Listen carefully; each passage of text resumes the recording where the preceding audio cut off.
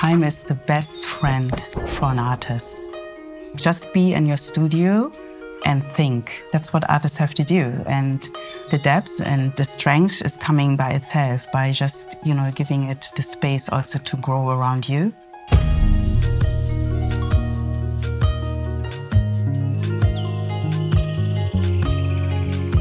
I was born at the countryside where my grandparents had a farm. I was actually just inhaling nature and growing up in a garden. Like my earliest memories of a garden were like picking tomatoes from the bush and just, you know, eating it and climbing on a tree, eating apple, cherries, everything. It was really like an outstanding childhood, I would say. I was quite connected to myself because my mom gave me really a sense of expressing my ideas, expressing my inner drive. And I think later that also helped me to kind of compensate um, a lot of emotions I had by, you know, with racist encounters and feeling, you know, a little bit like us an outsider sometimes. My father was an Ewe Ashanti based in Upper Volta region, and he was a traditional leader. And coming to visit him the first time in 2003, I realized that I'm actually under a cultural shock. Seeing him as a chief with all the Ashanti culture around, I have not really, I mean, experienced anything like that.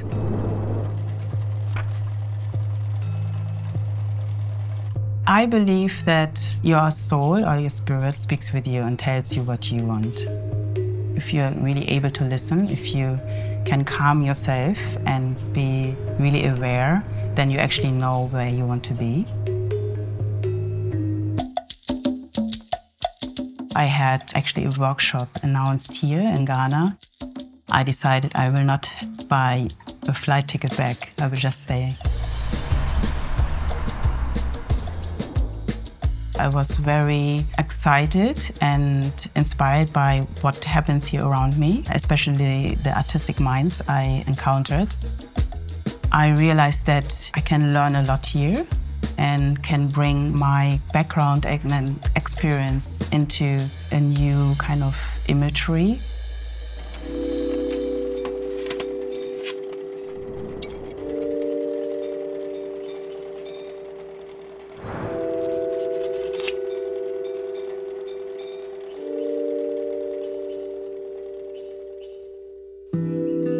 Sometimes when I see my assistant stitching um, by hand, you know, like doing this kind of really meditative kind of movement, you know, all day, I really see my grandma and my mom sitting knitting or doing embroidery together at home and that really sticked with me, you know, this kind of communal sewing and taking a time to create something out of nothing.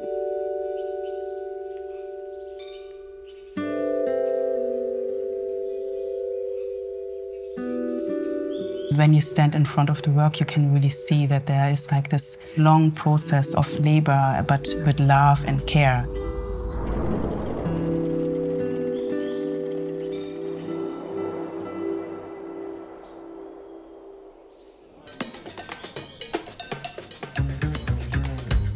when I came the first time to Ghana, it was like this kind of key moment, seeing a little boy wearing a soccer club t-shirt in Upper Volta region. I'm like, how did that t-shirt come here? And also because it was not really a soccer club I would support because they were quite right-wing. So I started researching on it and found out how the entire industry in Europe were collecting all these unwanted goods and started shipping them since the 70s in Queens and Kings, I wanted to show a very traditional setup of the king, the queen mother, the family around, plus the medicine man and the guards.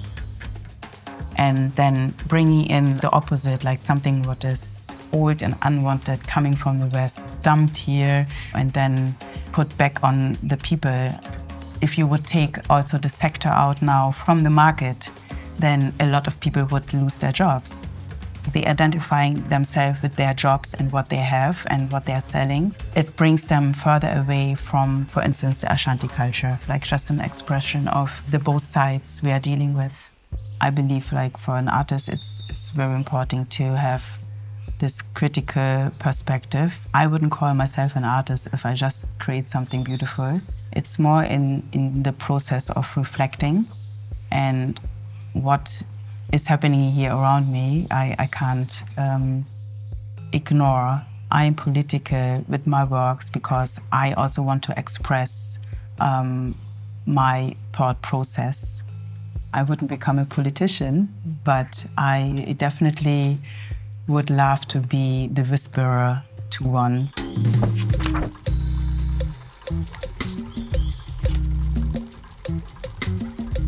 I'm a quite analog girl.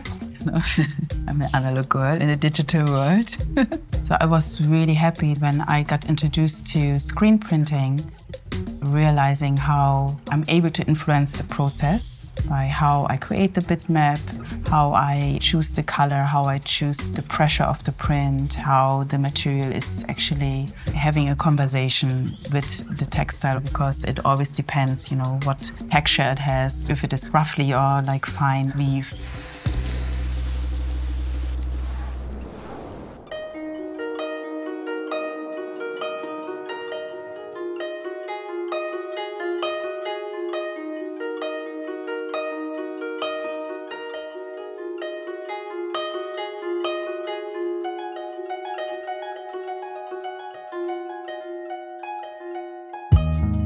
A photograph doesn't do justice to the actual work.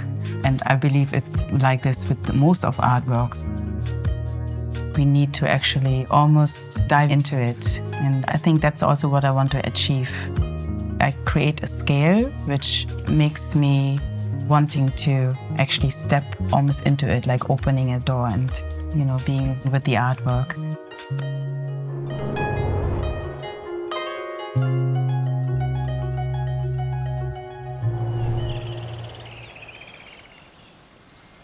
Outside of being an artist, there is nothing. um, I mean, you don't stop, right? But I learned to divide my private life because since I have my adopted son with me, I also realized how important it is for him not to like have art around all the time. Even though I almost believe he is becoming an artist himself. I think motherhood also changed a little bit like my routines. And now it's more like, oh, I, I should come home to have dinner with Junior. It's also important to just close the chapter of studio work and now I'm, you know, just Zohra and can also relax my mind. But it took me many years to actually come to this conclusion. I should also have more time